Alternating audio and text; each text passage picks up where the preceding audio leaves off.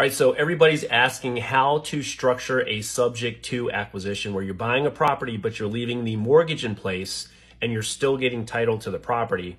How do you do that and not trigger the due on sale clause? The due on sale clause is what's in the mortgage that says that if the transfer of an interest of the property goes to someone else, then the note is due. So let me show you how we structure this.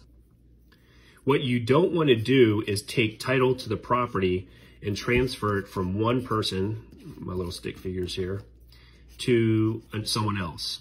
That is a transfer of the interest of the property to a third party and it triggers a due on sale clause and you got to pay off that note. What you do want to do is kind of liken that property to a dog. Let me see if I can do it. Here's my dog right there. A dog on a leash, right? There's the leash.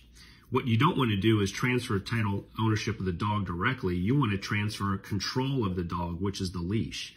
So what you do is you put that property into a trust. If you were to form your own trust for anonymity or estate planning reasons or asset protection, whatever, then the bank wouldn't make you pay your loan off just by creating your own trust.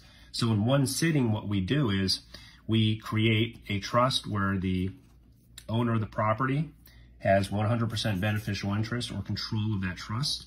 And then we don't buy the property, we buy the controlling interest of the trust. So we do an assignment of beneficial interest, and that is what we're paying the property owner for. So it goes from a real estate transaction to just a personal property transaction.